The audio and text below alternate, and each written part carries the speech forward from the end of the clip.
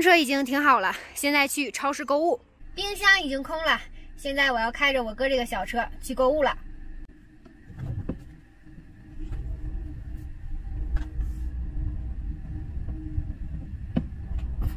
感觉好长时间都没有开这样的小车了。买了点零食，买了点水果。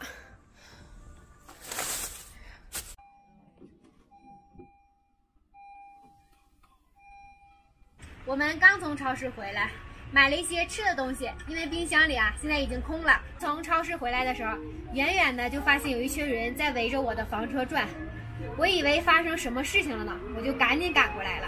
我走过来一看呢，原来是一个大爷，应该是抱着他的孙女儿，从窗外呀再往里看。我感觉应该是小女孩比较好奇。我们几个呢也没有下来，一直呢在我哥的车里待着。呃，因为我怕下来之后啊，他们看到我会很尴尬。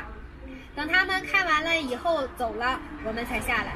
我哥和我嫂子今天做的麻辣烫，我们做的这个麻辣烫呢和南方的有一定的区别。这边的麻辣烫啊都是串串的，我们呢是一锅出。我给你看一看啊，我们吃的这个麻辣烫呢就是十多种菜加上一锅面放在一起。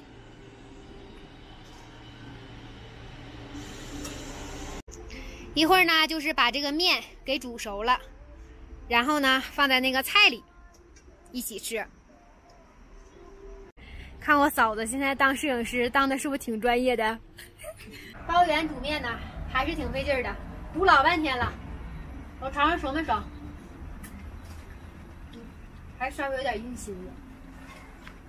汤都煮没了，一锅的汤啊，都已经给煮没了。我们的麻辣烫要出锅了啊！就是菜和面往一起一和就能吃了。嫂子这么一大锅，你说咱们能吃了吗？没事，吃不了让他吃，他总怕不够。都吃的。我就再来一碗。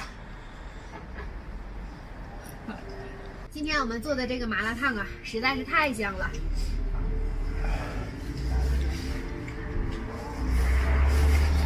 哥呀，吃不了你就别吃了，剩的半锅都让你给自己吃了。这都不是事儿，一会儿看我都给吃了，汤都喝了。你可别撑坏了我！哎，我看那汤喝不了的。